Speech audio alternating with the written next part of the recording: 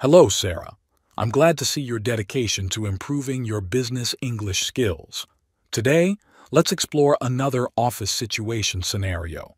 Imagine you're in a team meeting and your manager asks for your opinion on a new project. How would you respond? Hi, Mr. Davis. I would probably say, I think the new project is a good idea. That's a decent start, Sarah. To make it more comprehensive, you could say, I believe the new project is a good idea because it aligns with our company's goals and has the potential for significant growth. I believe the new project is a good idea because it aligns with our company's goals and has the potential for significant growth. I like that. Great job, Sarah.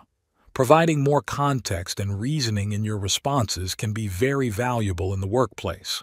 Now, let's switch to another scenario. Imagine you receive an email from a client who's upset about a mistake in the project. How would you respond?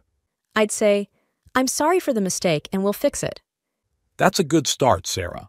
To express your apology more sincerely, you could say, I sincerely apologize for the mistake and our team is already working on resolving it. I sincerely apologize for the mistake and our team is already working on resolving it. Got it. Excellent. Being sincere and proactive in addressing issues is a crucial skill in business. Now, imagine you're at a networking event and you want to exchange contact information with a potential business contact. How would you initiate that conversation? I would say, Can we exchange business cards or contact information? That's a good way to ask, Sarah. To make it even more professional, you could say, Would you mind if we exchanged business cards or contact information? Would you mind if we exchanged business cards or contact information? I like that. It sounds more polite. It does, Sarah. Politeness and professionalism are highly regarded in the business world. Now let's move to a situation where you need to provide feedback to a colleague. How would you start the conversation? I think I'd say, I have some feedback for you. That's a clear start, Sarah. To make it more constructive and encouraging, you could say, I'd like to share some feedback with you that I believe will help us improve our collaboration. I'd like to share some feedback with you that I believe will help us improve our collaboration. Sounds better. Excellent, Sarah.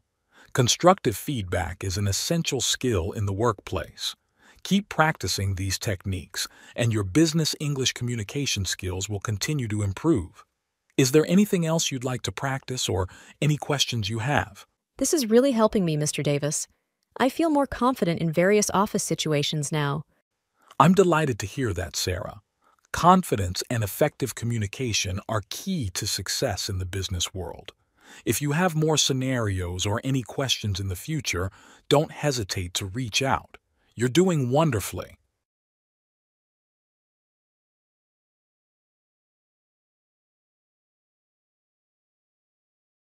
Hello, Sarah. I'm glad to see your dedication to improving your business English skills. Today, let's explore another office situation scenario. Imagine you're in a team meeting and your manager asks for your opinion on a new project. How would you respond? Hi, Mr. Davis. I would probably say, I think the new project is a good idea. That's a decent start, Sarah. To make it more comprehensive, you could say, I believe the new project is a good idea because it aligns with our company's goals and has the potential for significant growth. I believe the new project is a good idea because it aligns with our company's goals and has the potential for significant growth. I like that. Great job, Sarah. Providing more context and reasoning in your responses can be very valuable in the workplace. Now, let's switch to another scenario. Imagine you receive an email from a client who's upset about a mistake in the project. How would you respond? I'd say, I'm sorry for the mistake and we'll fix it. That's a good start, Sarah.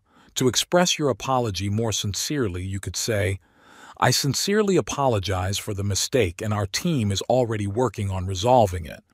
I sincerely apologize for the mistake and our team is already working on resolving it. Got it. Excellent. Being sincere and proactive in addressing issues is a crucial skill in business. Now, imagine you're at a networking event and you want to exchange contact information with a potential business contact. How would you initiate that conversation? I would say, Can we exchange business cards or contact information? That's a good way to ask, Sarah. To make it even more professional, you could say, Would you mind if we exchanged business cards or contact information?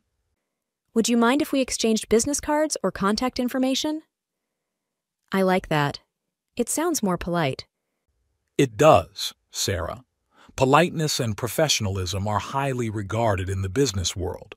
Now let's move to a situation where you need to provide feedback to a colleague. How would you start the conversation?